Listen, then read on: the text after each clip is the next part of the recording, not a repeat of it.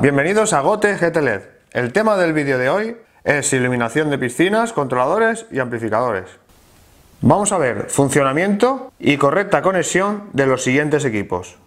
Primero empezaremos con la conexión y emparejamiento o sincronización del controlador y sus luminarias, sincronizando el receptor con el mando a distancia.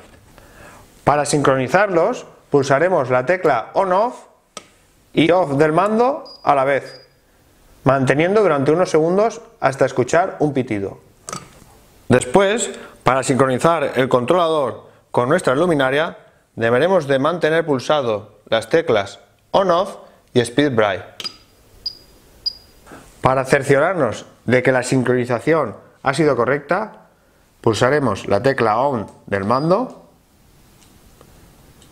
o cambiaremos a los diferentes colores. Uno de los síntomas que podemos tener en nuestra instalación que nos está indicando que necesita un amplificador de señal es cuando al encenderlo y hacer un cambio de color, este cambia en diferente velocidad. Puede que llegue a hacer el cambio, incluso no hacerlo. Para solucionar este problema, instalaremos el amplificador aproximadamente en la mitad de la instalación. En el ejemplo anterior teníamos dos bucles de 20 metros. Para subsanar el problema, ahora hemos puesto un amplificador en medio de ellos, para que amplifique la señal de entrada a la salida. Después tendríamos que alimentar este extremo también.